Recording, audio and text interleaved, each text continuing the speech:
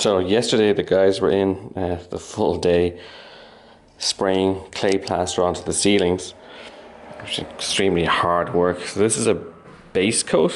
It's a Unterputz, and a second layer will go on top of this then because in places it's quite deep, and where it's deep it dries unevenly and then cracks. So uh, that's kind of a base coat, then a second base coat, and then we have a like a fine plaster or Oberputz uh, will go on top of that. And pretty much all the wall heating has been closed off as well. Hard to see with the contrast there, but basically the, the walls have all been plastered again with base plaster. And uh, some fine plaster will go on top of that. We have to decide on what finish we want yet. Uh, but basically it's coming on nicely. Kitchen looking a lot better than it has in a long time.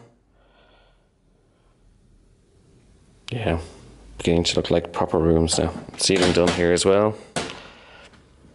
And then into the hall is done. Bedroom is done. All the wall heating covered.